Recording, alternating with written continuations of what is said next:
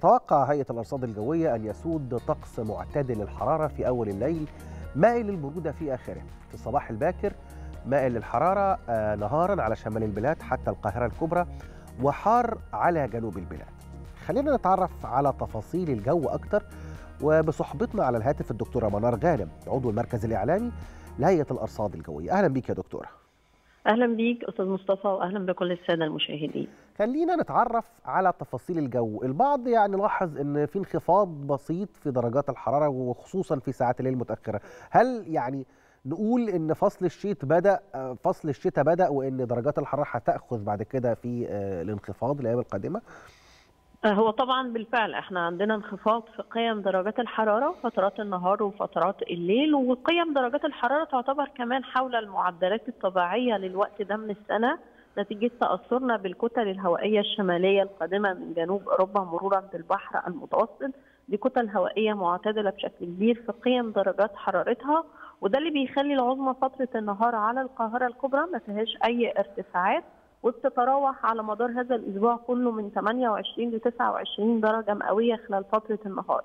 يعني تحديدا اليوم هتكون 29 درجة مئوية. أيوة. خاصة كمان مع وجود بعض السحب المنخفضة والمتوسطة على مدار اليوم السحب دي بتحجب جزء من أشعة الشمس فبتساعد كمان إن إحنا نحس أكتر بالأجواء الخريفية. لكن هو الأكيد مع وجود أشعة الشمس إحنا بنحس بالدفء أو بالاستقرار. أجواء مائله للحرارة فترة النهار في المحافظات الشمالية حاره في المحافظات الجنوبية رغم إن كافة محافظات الجمهورية قيم درجات الحرارة فيها حول المعدلات وما فيهاش أي ارتفاعات. بالفعل كمان فترات الليل مع غياب أشعة الشمس بيكون في انخفاض في قيم درجات الحرارة وقيمة درجة الحرارة الصغرى انخفضت. يعني إحنا متوقع إن إحنا نسجل قيم درجات حرارة ما بين 22 و20 درجة مئوية صغرى فترة الليل بالنسبة للقاهرة الكبرى. أيوه. فبالفعل أول فترات الليل أجواء معتدلة فترات الليل المتأخر صحيح. فترات الصباح الباكر أجواء فيها برودة واجواء مائلة للبرودة في معظم المحافظات وخاصة كمان المدن الجديدة الأماكن المفتوحة المحافظات المدن المدن الجديدة اللي حضرتك بتتكلمي عنها لو اتكلمنا أيضا عن قيم آه، يعني آه، آه، الرياح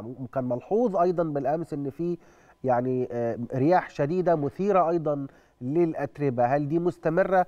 في آه، آه، آه، يعني هذه الأيام ولا ممكن نقول إن ده شيء مؤقت؟ هو وجود الرياح مستمر معانا خلال الأيام اللي جاية لكن مش هتكون مثيرة للرمال والأتربة إن شاء الله. يعني وجود الرياح هنحس في فترات المساء ساعات الليل سرعات رياح من 30 ل 35 كيلو متر على الساعة. مش هتكون عالية بالشكل الكبير لكن وجودها في فترات المساء وساعات الليل ده يساعد إن إحنا نحس بانخفاض قيم درجات الحرارة أكتر وممكن نحس بالبروده أكتر في فترة الليل المتاخر أو الصباح الباكر. أيوه. وطبعا الشبورة المائية الظاهرة الجوية المؤثرة معانا فترة الصباح الباكر وساعات الليل المتأخر على الطرق الزراعية والسريعة والقريبة من المسطحات المائية وبيكون معاها انخفاض في الرؤية الأفقية فترات الصباح الباكر لكن مش هتأثر على حركة المرور وهتختفي مع سطوع أشعة الشمس يعني تقريبا 8 صباحا الشبورة المائية تختفي الرؤية الأفقية تتحسن على أغلب الطرق وده طبيعه النص الأول من فصل الخريف إحنا ما زلنا في فصل الخريف ما زلنا. النص الأول من فصل الخريف البداية الرسمية لفصل الشتاء هتكون 21 12 لسه بدري جدا على بداية فصل الشتاء لكن الاتجاه العام لقيم درجات الحرارة في العموم خلال الأيام اللي. جاية والاشهر الجايه هي الانخفاض يعني إحنا بنتجه نحو الانخفاض. كل ما اقتربنا أكتر من النص الثاني من الخريف وفصل الشتاء هنلاقي قيم درجات الحرارة. إذا كان فترة النهار وفترة الليل اتجاهها يعني ده مش يعني ده مش. منخفض مؤقت يا دكتورة. ده ممكن يستمر. لا هو مش مؤقت لأن إحنا بنقول على مدار الأسبوع ده كله دي قيم درجات الحرارة اللي المفروض نكون عليها في الوقت ده من السنة. ممكن بعض الأيام نلاقيها أعلى أو أقل من المعدل الطبيعي لكن ولكن الطبيعي إن إحنا نلاقي برودة. في فترات الليل صحيح. طب إيه النصائح اللي ممكن نوجهها للناس وخصوصا مع تغير درجات ال- ال- الحرارة يعني أو انخفاضها؟ يعني نقول خلاص نقول نبتدي نستعد لفصل الشتاء ننزل الشتوي بقى ونستعد لهذه الأجواء ولا لسه شوية؟ هو أكيد مع فروق قيم درجات الحرارة بين النهار والليل لأن إحنا دايما في النهار مع الشمس في دفء لكن في الليل في بروده لازم الملابس الخريفيه لازم بنقول خاصة الطلبة وهم رايحين المدارس فترة الصباح الباكر إحنا وإحنا رايحين اشغالنا فترة الليل المتأخر أو أو راجعين من اشغالنا فترات الليل المتأخر مهم جدا الملابس تكون ملابس خريفية مش ملابس صيفيه بشكل كامل. أيوة. أو معانا جاكيت خفيف لو حسينا بانخفاض قيم درجات الحرارة نرتدي وبنأكد تاني الطلبة أو الأطفال لازم الملابس الخريفية تجنبا لنزلات البرد. القيادة تكون بهدوء تام فترة الصباح الباكر مع وجود الشبورة المائية والمتابعة الجيدة للنشرات الجوية بصورة يومية لأن فصل الخريف هو فصل التقلبات الجوية الحادة والسريعة. يعني وارد جدا يحصل تغير في التنبؤ الجوي بصورة حادة فلازم نتابع النشرة الجوية بصورة يومية. صحيح.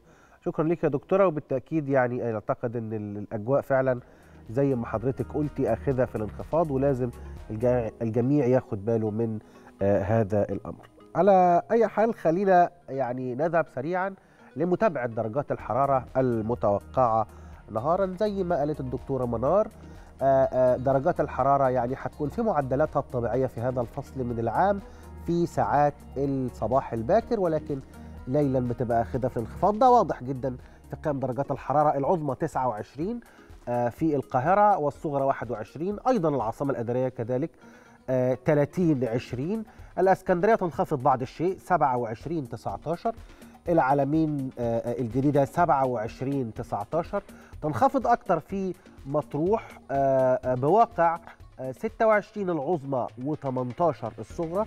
دمياط 28 23 بورسعيد 28 24 أما الإسماعيلية فدرجة الحرارة العظمى 30 والصغرى 19 محافظة السويس يعني ربما تكون أيضا قريبة من درجات الحرارة الموجودة في العاصمة. العظمى بتسجل 29 درجة والصغرى 20 في العريش العظمى 28 والصغرى 18 كاترين ربما من أكثر المحافظات انخفاضا في الجمهورية درجة الحرارة العظمى 24 والصغرى هي أقل درجة 12 طابة 27 22 حلايب 30 22 شلاتين 32 24 شرم الشيخ تأخذ درجات الحرارة في الارتفاع العظمى تسجل 33 والصغرى تسجل 24 كذلك الحال أيضا آه الغردقة تسجل العظمى 33 والصغرى 23 إذا نظرنا للفيوم هنلاقيها برضو بنفس مستوى درجات الحرارة الخاصة ب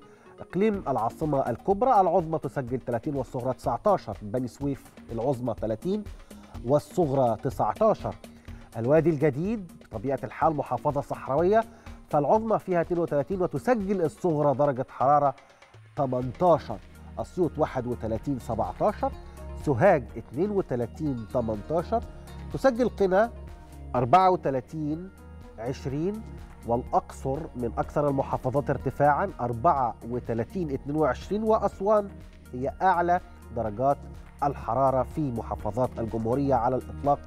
تسجل فيها العظمى 34 درجة والصغرى 23